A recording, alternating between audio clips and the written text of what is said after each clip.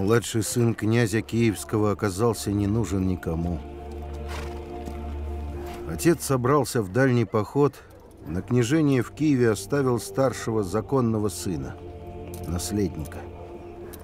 А младшего решил отправить на дальний север, в Новгород. Может, там на что-нибудь изгодится княжич Владимир. Ни отца, ни братьев живыми Владимир больше не увидит. Он вернется в Киев, завоюет многие земли, возьмет греческий Херсонес.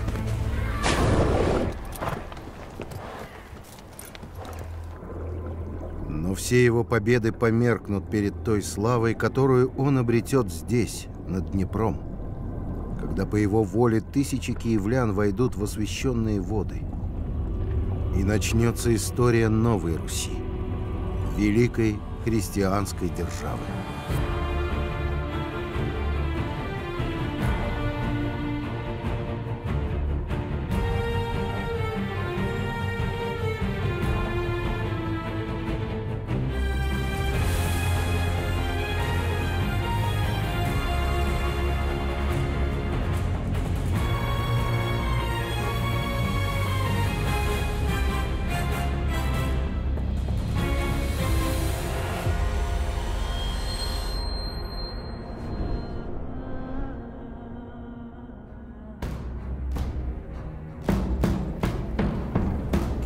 Князь Святослав Игоревич никогда не сомневался в своем предназначении.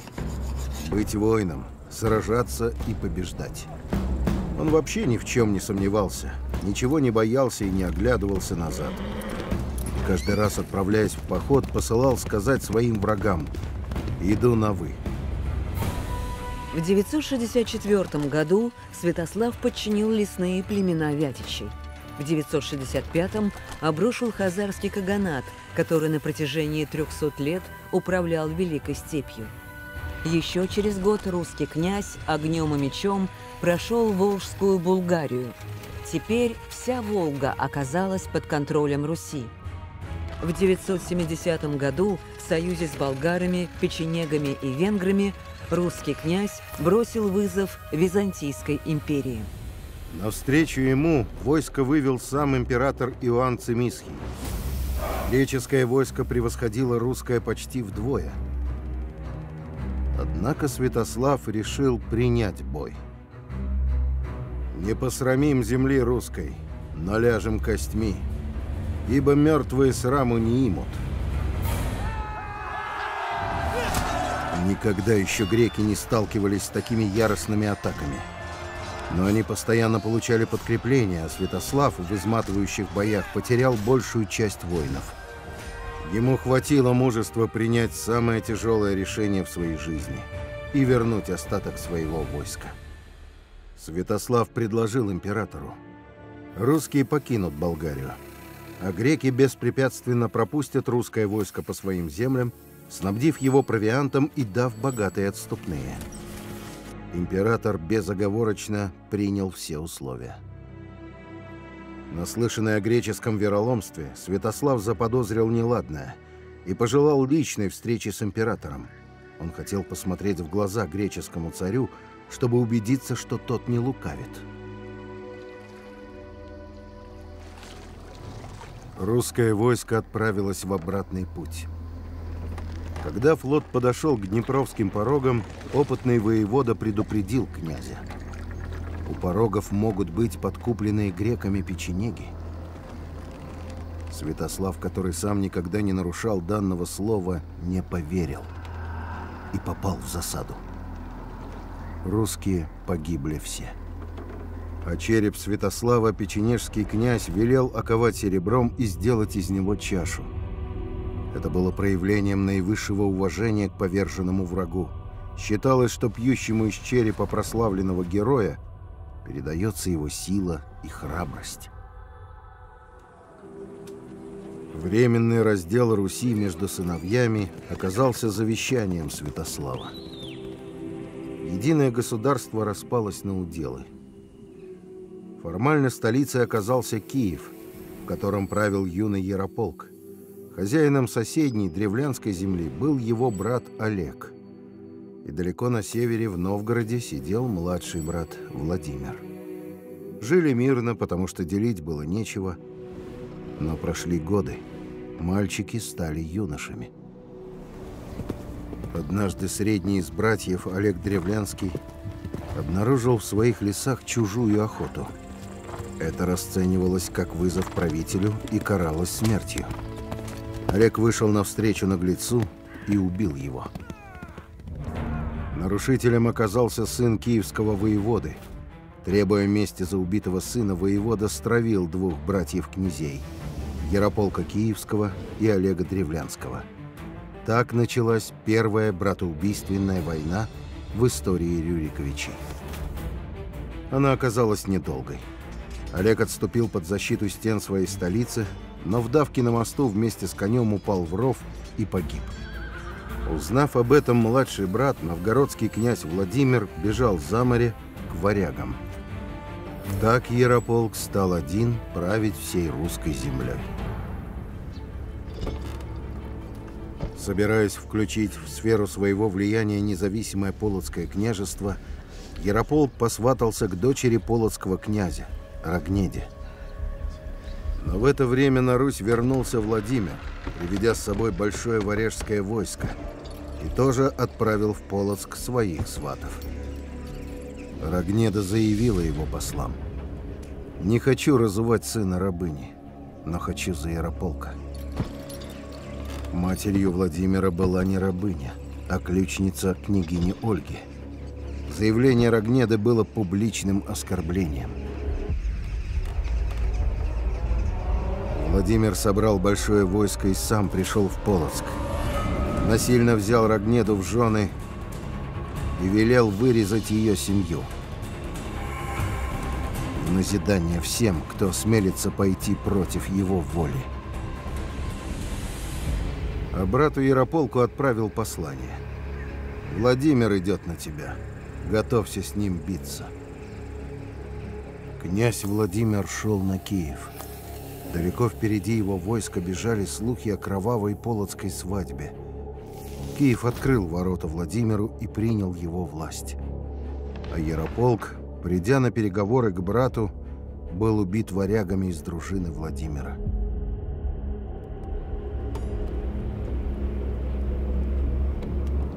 Младший сын. Он всегда сам брал все, что ему было нужно. Войско, женщин, города, власть. Средств не выбирал. Ничьих советов не слушал. Главным для него всегда была его власть, его сила и слава. Он не остановится ни перед чем, дойдет до самого дна.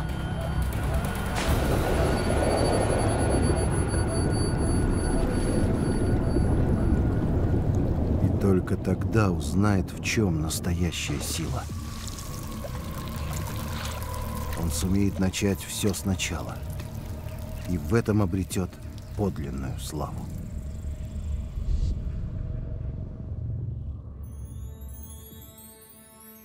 В 18 лет он получил все, что хотел. Теперь у него был Киев, его Киев, который он не собирался отдавать никому. Князь Владимир возвел новую киевскую крепость, площадью в пять раз больше, чем старый детинец. Она охватывала почти весь разросшийся город и могла выдержать любую осаду.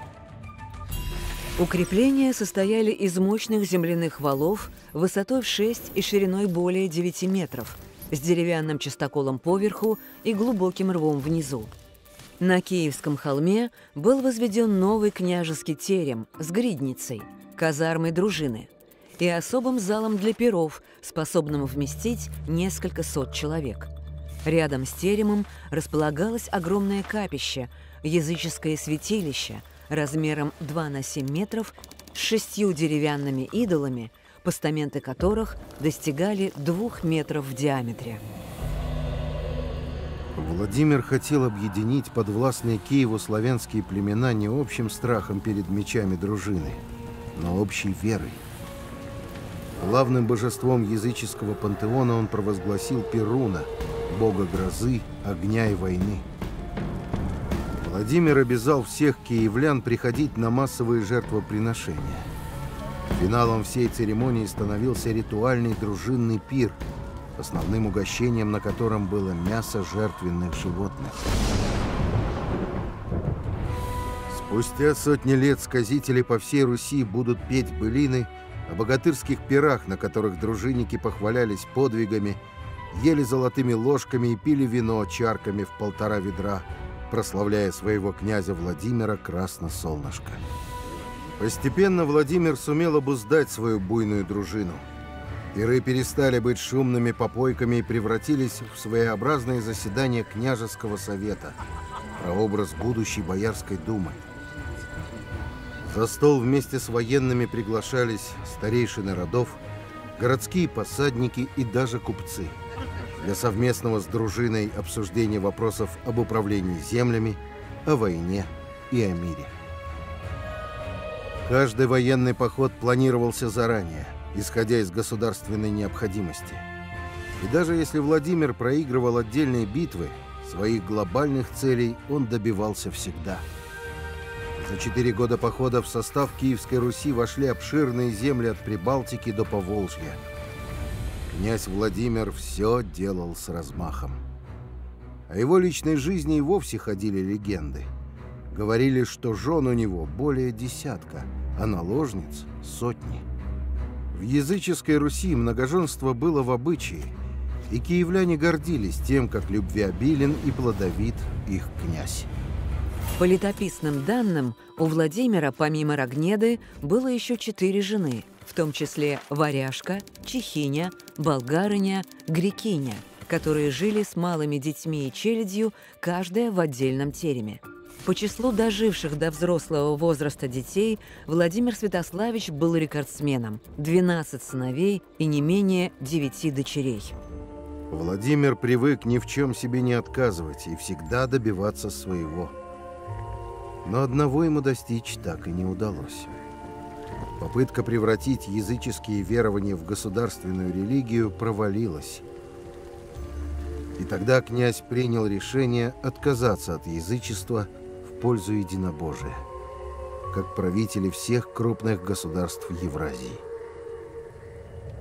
Государства к востоку и югу, от Верхней Волги до Персидского залива, исповедовали ислам – к ним присоединилось и большинство населения бывшего хазарского каганата, верхушка которого еще оставалась в лоне иудаизма. Страны Западной Европы относились к христианской церкви западного обряда. Огромная Византийская империя, в ареал которой входили Дунайские земли и Закавказье, была территорией православия, восточного христианства. По летописной легенде около 986 года князь пригласил миссионеров из Волжской Булгарии, Германии, Хазарии и Византии.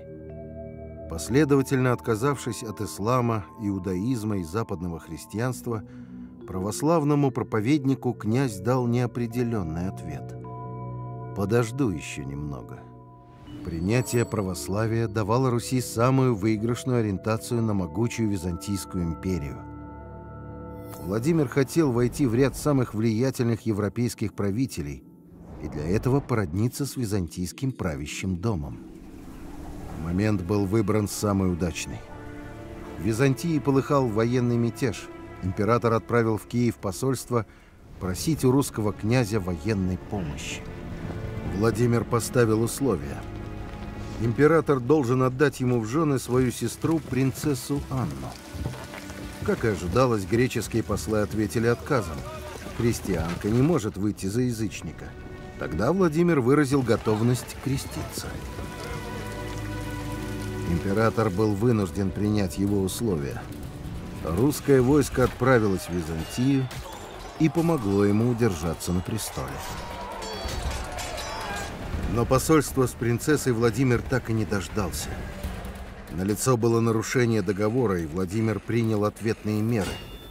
Жестоко разорил пограничный город империи Крымский Херсонес. Угрожал воевать и дальше, если ему не пришлют принцессу. И тогда Анна с греческими вельможами и священниками отправилась в страну язычников-варваров. Брат-император сказал ей на прощание, «Может быть, обратит тобою Бог русскую землю к покаянию».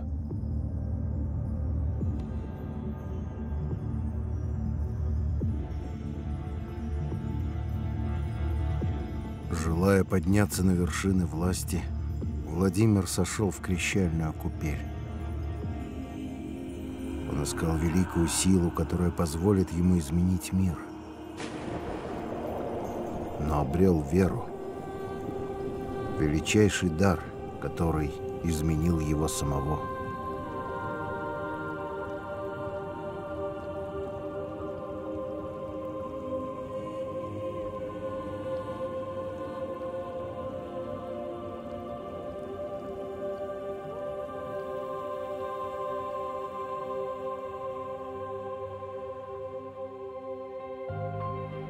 Князь Владимир, принявший крещение с именем Василий, вернулся в Киев другим человеком. Он полностью изменил свою жизнь. Теперь перед Богом и людьми у него была единственная жена Анна. Знаменитые пиры стали инструментом княжеской благотворительности. За стол могли садиться все желающие, в первую очередь бедняки, а больным и увечным еду привозили домой. Владимир велел уничтожить языческое капище. Поверженного Перона, привязав к конскому хвосту, на глазах киевлян сволокли с горы и бросили в Днепр. Потом, чтобы подать пример всему народу, Владимир устроил открытую церемонию крещения своих сыновей и домочадцев. А спустя некоторое время отправил глашатаев объявить Киеву, что князь всех зовет прийти на реку. В тот день сотни людей приняли крещение в водах Днепра, ставшего огромной купелью.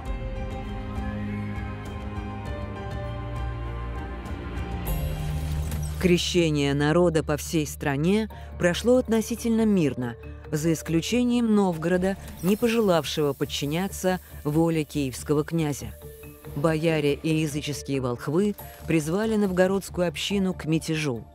Княжеский посадник Добрыня, придя с войском, подавил мятеж и велел всех, кто сопротивляется, крестить насильно. И только далекая земля Вятичей, где реальной властью обладали лесные колдуны-шаманы, еще 300 лет – оставалась языческой.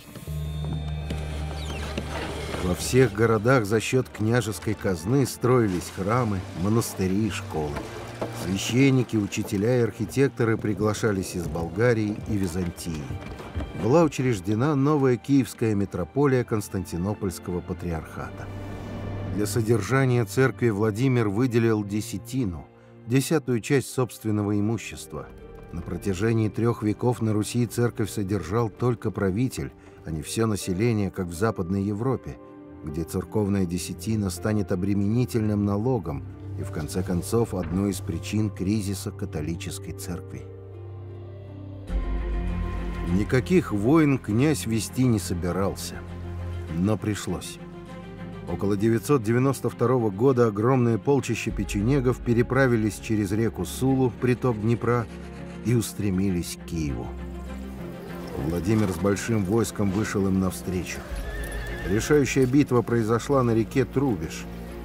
По легенде, исход битвы должен был решить ритуальный поединок двух сильнейших воинов. От печенегов вышел человек огромного роста.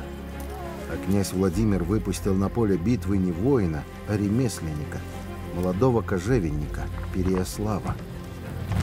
При небольшом росте он обладал такой силой, что рвал руками сырые кожи. Поединок был недолгим. Кожемяка просто удавил печенега и бросил на землю. Русское войско одержало победу, а на месте поединка Владимир заложил крепость и назвал ее в честь победителя. Переяславль станет первым звеном в системе обороны, которую киевский князь создаст вдоль южных границ своего государства. При Владимире была построена оборонительная линия – цепочка крепостей по рекам Сула, Стугна, Трубиш и Десна, общей длиной около тысячи километров. Расстояние между крепостями позволяло видеть на башнях сигнальный огонь или дым – Далеко в степь высылались дозоры или заставы богатырские, которые следили за перемещением кочевников и в случае необходимости могли дать короткий бой. Владимир возвел оборону страны в значение общегосударственного дела. Кто бы ты ни был, знатный дружинник, ростовский попович или крестьянский сын из Мурома, если ты готов сражаться за родину, ты друг князю Киевскому. Самоуправление племенной знати осталось в прошлом. Во все крупные города, то есть старые племенные центры, Владимир посадил 12 своих сыновей. Разница в возрасте между самым старшим и самым младшим составляла более 30 лет. Таким образом, страна объединялась под властью одного рода, во главе которого стоял он сам. Шло время. Владимир старел а сыновья вырастали и один за другим стали считать себя самостоятельными правителями. Когда-то давно Владимир взял в жены вдову своего брата Ярополка, уже беременной. Родившегося через несколько месяцев племянника Владимир официально признал своим сыном, но в его имени Святополк сохранил память о настоящем отце. Помнил и Святополк о том, что его отца, законного киевского князя, убил Владимир, который ныне сидит на престоле отца. Составился заговор, целью которого было свергнуть Владимира и посадить на киевский престол Святополка. Заговор был раскрыт, Святополк свачен и посажен под арест. Но не успел Владимир усмирить одного сына, как отделиться решил следующий по старшинству Ярослав Новгородский. Он перестал присылать в Киев положенную дань. Владимир не мог допустить распада страны. Он велел готовиться к походу на Новгород. Выступать собирался в середине весны, как только просохнут дороги. Сообщение между русскими землями было нерегулярным. Дороги проходили в основном по рекам – Способ передвижения зависел от сезона. С ноября по февраль – по льду, на санях или верхом. С апреля по сентябрь – на ладьях. Март и октябрь были мертвыми сезонами, когда из-за распутицы или достава останавливалась не только торговля, но и война. На большие расстояния перемещались только военные отряды, княжеские гонцы и купеческие караваны, обязательно с вооруженным конвоем. Скорость передвижения верхом составляла от 50 до 75 км в день. На санях – от 40 до 60 км в день. На ладьях – до 100 км. Дорога от Киева до Новгорода занимала не меньше месяца. Весна прошла, а поход все не начинался. В начале лета Владимир внезапно занемог – он был еще не стар, на середине шестого десятка, и крепок. Все ждали, что вот-вот князь встанет на ноги. Но он не встал. 15 июля 1015 года Владимир скончался к ужасу и скорби всего Киева. Со смертью князя Красное Солнышко словно обрушилась мощная каменная стена – под надежной защитой которой они жили многие годы. Официальное прославление Владимира Крестителя в лике святых равноапостольных произойдет только через два столетия. Но в народном сознании он стал почитаться святым вскоре после окончания своей земной жизни. Он все делал с размахом и мощью. Именно он превратил разрозненные земли, населенные разными племенами и народами, в единое государство под властью княжеского рода Рюриковичей. Именно он дал своей стране то, что будет держать ее на протяжении тысячелетий, держать крепко и нерушимо православную веру.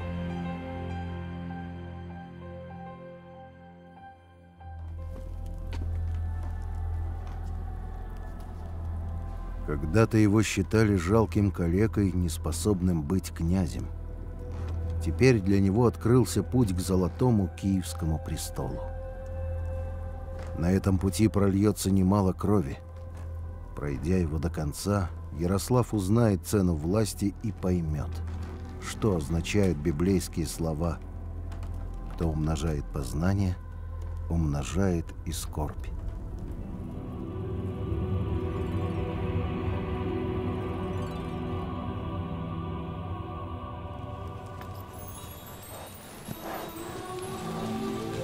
Ярослав все детство провел в тереме матери. Обычно княжичи уже в три года сажали на коня, посвящали в войны. Но только не Ярослава. От рождения у него были повреждены суставы правой ноги, и он не мог ходить. В шесть лет его все же посадили на коня. Седло сыграло роль современных ортопедических распорок. И хромой княжич, хотя и с трудом, через боль, но пошел своими ногами. Он доказал всем, и в первую очередь отцу, что может быть князем. Ярослав был еще совсем мальчишкой, когда отец отправил его княжить в отдаленные ростовские земли.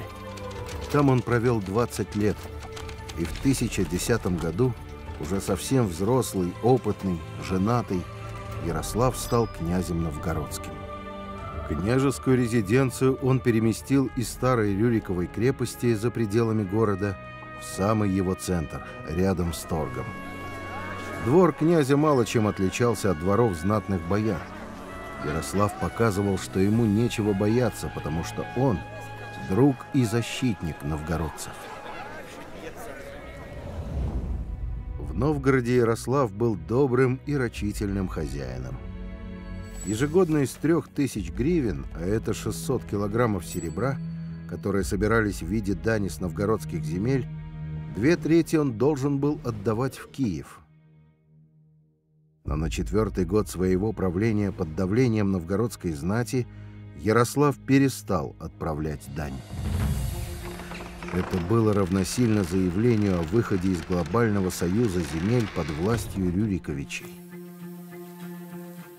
Ярослав прекрасно понимал, что за этим последует война с отцом, и нанял за морем варяжскую дружину. Расположил наемников в Новгороде и стал ждать, когда киевский князь Владимир пойдет на него походом. Но война все никак не начиналась. Варяги, сидевшие в Новгороде с весны, изнывали от безделья. И когда они начали насиловать замужних женщин, новгородцы ворвались на их двор и порубили обидчиков. Узнав о резне, князь пришел в ярость. Варяжские мечи были очень нужны ему на предстоящей войне. И это были его варяги, нанятые на его деньги. Чтобы никто не смел покушаться на княжеское, Ярослав вызвал к себе в резиденцию лучших мужей новгородских, якобы на совет. И отдал их уцелевшим варягам, а те уже вдоволь натешились местью за погибших сородичей.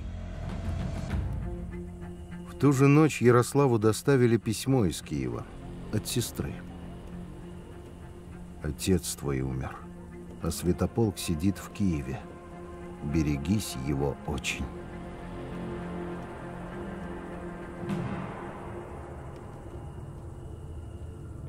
Старший сын Владимира Святополк после смерти отца оказался ближе всех к престолу. Он сидел в киевской темнице. Бояре освободили его, и он вокняжился в Киеве. Теперь нужно было устранить соперников. И в первую очередь следующего по старшинству Ярослава Новгородского. А сам Ярослав той душной ночью с ужасом понял, что загнал себя в ловушку. Войны не избежать, а войска теперь у него нет. Лучших варяжских воинов новгородцы посекли, и предательство князю не простят. На рассвете Ярослав велел созывать вече.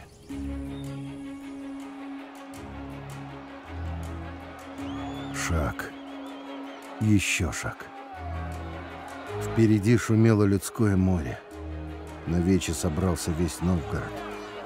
Правда была на их стороне, зато у него была власть еще вчера. Сегодня у него нет ничего. «Любимая моя и честная дружина!» — хрипло выкрикнул Ярослав, и голос сорвался. Справившись с собой, он сказал, «Избил вас вчера в безумии своем. Теперь мне того и зла там не искупить. Отец мой умер, а Святополк сидит в Киеве, избивая братья свою. Хочу на него пойти. Последуйте за мной». Тишина налилась свинцовой тяжестью. Наконец, новгородцы ответили. «Хотя и иссечены братья наши, можем, княже, за тебя бороться». Помирившись с Новгородом, Ярослав составил договор, который уравнивал в правах новгородцев и пришлых княжеских людей.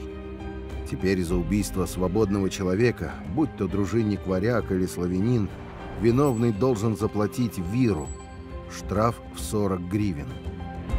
Спустя годы, когда Ярослав станет киевским князем, он на 20 лет освободит Новгород от уплаты 2000 гривен ежегодной дани. Всего получится 40 тысяч гривен, вира, которую Ярослав задолжал городу после устроенной им резни. Князь закроет все свои долги, а его договор с новгородцами станет первой статьей первого в истории России сборника законов, который позднее назовут по имени создателя «Правдой Ярослава». «Правда Ярослава» – сборник законов, аналогичный раннесредневековым европейским судебникам.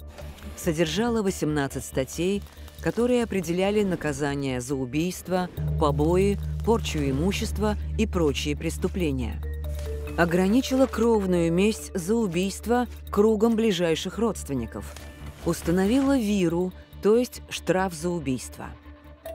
Вместе с позднейшими добавлениями составила «Русскую правду» – свод законов, который действовал на Руси вплоть до XV века.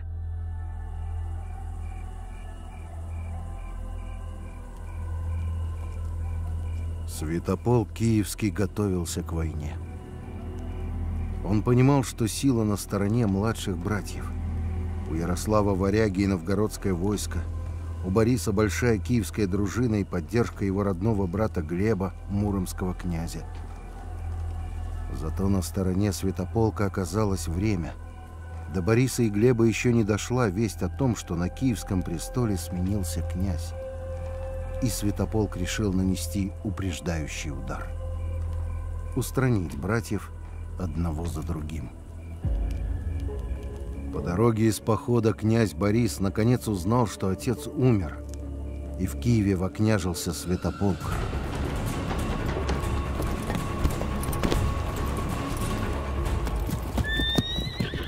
Идти на Киев Борис отказался. Если умер отец мой, то святополк будет мне вместо отца. Старшая дружина сочла это трусостью и покинула князя. Борис остался с немногими отроками. Призвал к себе в шатер священника и молился вместе с ним всю ночь. Перед рассветом скрытно подошел отряд, посланный святополком. По молитвенному пению сразу определили, где находится князь.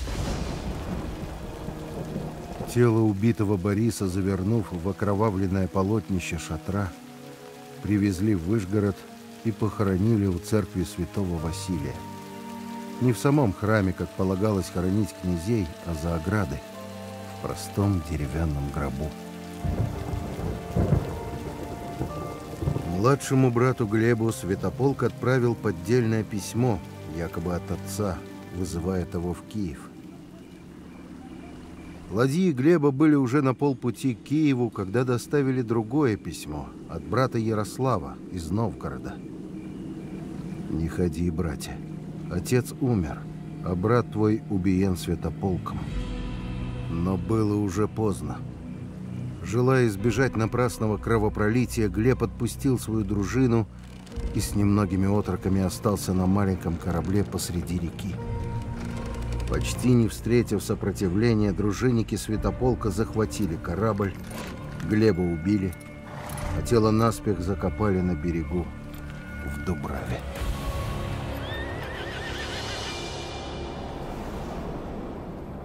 Спустя пять лет по велению Ярослава его перезахоронят с великой честью в Вышгороде, рядом с братом.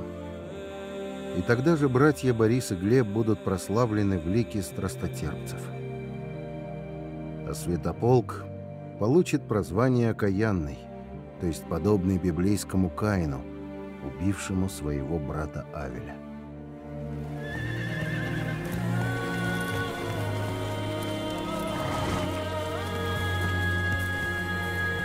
Они встретились на реке Альте – недалеко от того места, где четыре года назад по приказу Святополка был убит Борис.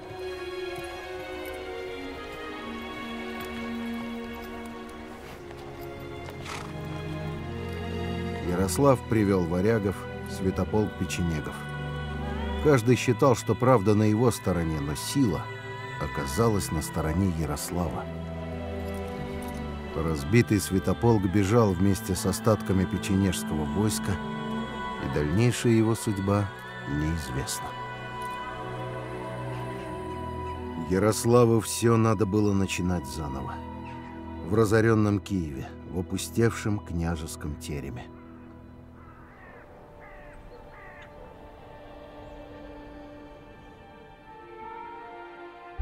Ярославу привезли из-за моря жену, 18-летнюю Инги Герт, дочь шведского короля – Ярослав был намного старше ее. Он знал, что до него к Ингигерт сватался молодой норвежский конунг, и она дала согласие. Но ее отец предпочел киевского князя. Ингигерт станет безупречной княгиней.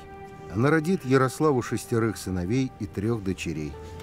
Будет принимать участие в государственных делах, славиться в Киеве и за его пределами как целительница – и даже слухи о том, что княгиня продолжает любить своего бывшего жениха, не помешает Ярославу принять конунга у себя в Новгороде, когда тот будет вынужден покинуть свою страну. А после гибели конунга усыновить его маленького сына, будущего короля Норвегии и Дании.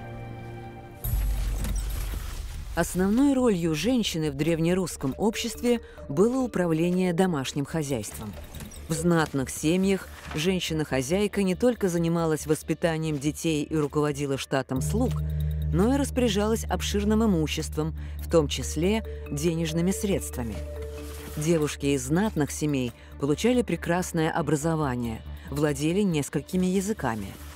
Незнатные женщины часто имели собственную профессию – целительница, врач, повивальная бабка, акушерка – ткачиха, швея, повар, сваха. Русская правда предписывала судить за убийство женщины таким же судом, что и за убийство мужчины.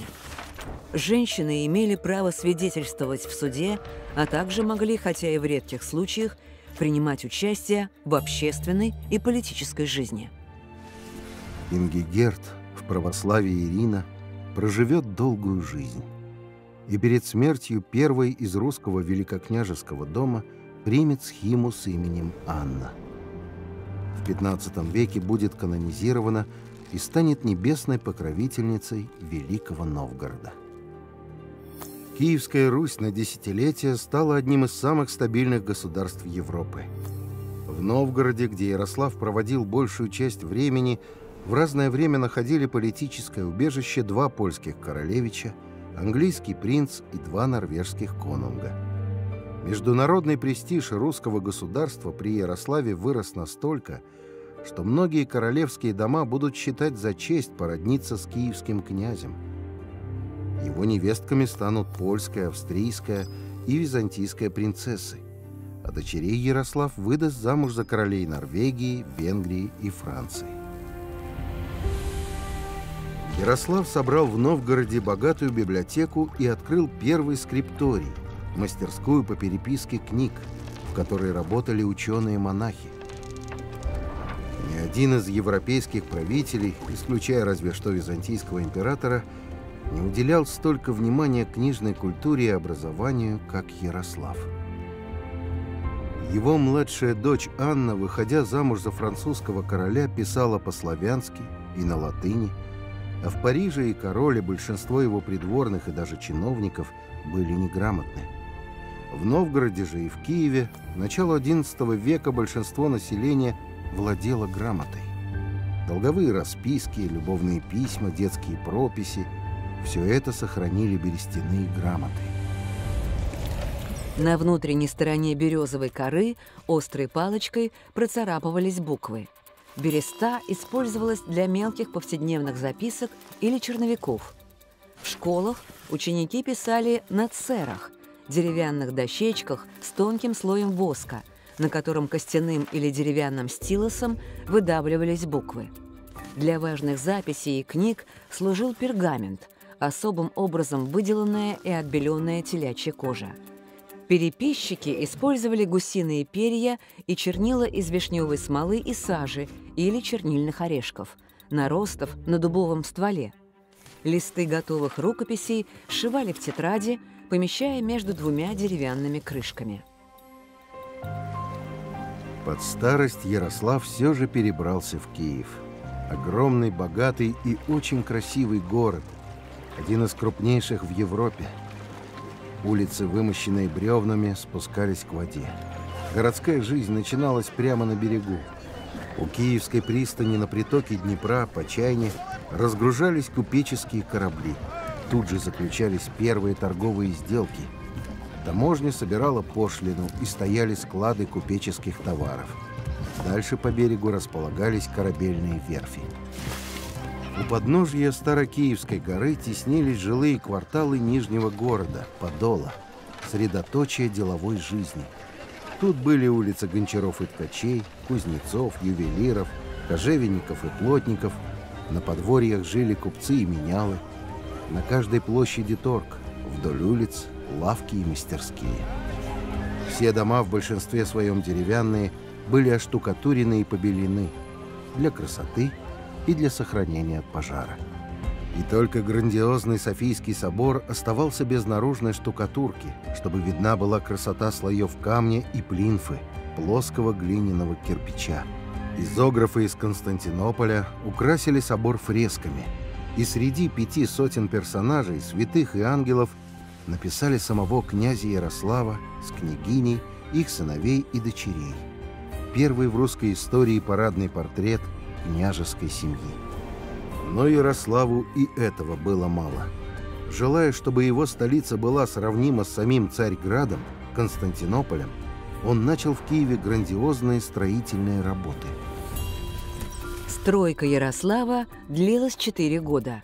Площадь киевского детинца увеличилась в 7 раз и охватывала более 70 гектаров. Были возведены мощные земляные валы с основой из деревянных срубов – протяженностью 3,5 километра, шириной больше 27 метров, высотой вместе с чистоколом до 16 метров.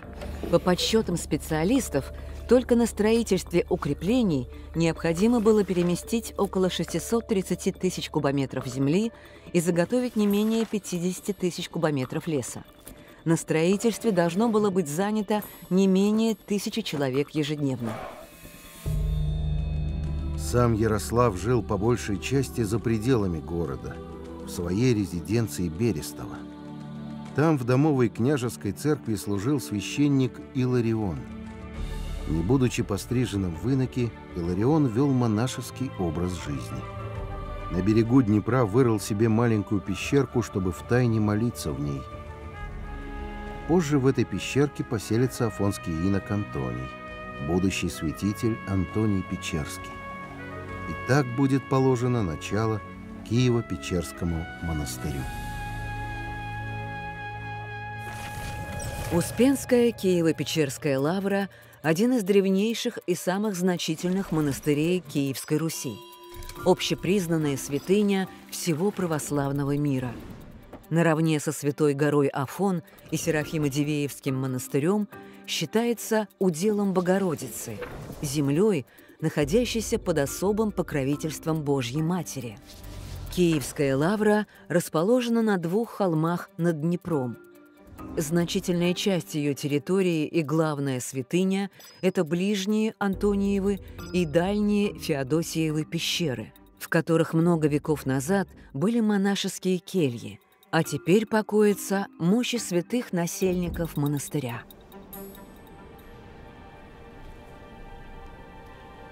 Ярославу перевалило за 70.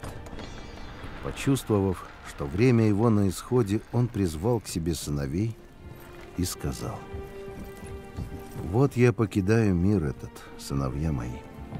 Имейте любовь между собой, потому что все вы братья, от одного отца и от одной матери. И если будете жить в любви между собой, Бог будет в вас и покорит вам врагов» и будете мирно жить. Молодые князья разъехались по своим землям. С отцом остался только Всеволод. К его маленькому сыну Владимиру, своему внуку, Ярослав испытывал особую нежность. Как будто предвидел, что этот малыш, будущий великий князь Владимир Мономах, продолжит дело всей его жизни – просвещение Руси. Князь Ярослав в крещении Георгий – умер в ночь на 20 февраля 1054 года, в канун праздника торжества православия. Народное почитание князя в лике святых благоверных началось сразу после его смерти. Официальное общецерковное прославление установлено в 2016 году. Он ошибался и терпел поражение но умел исправлять ошибки, возвращать долги и упорно идти к победам. Пережив тяжелую братоубийственную войну, он сделал все, чтобы не допустить раздела страны. При нем Киевская Русь достигла подлинного расцвета. К двум функциям князя, воин и хранитель закона, он добавил третью, не менее важную – просветитель. И вошел в историю – как Ярослав Мудрый.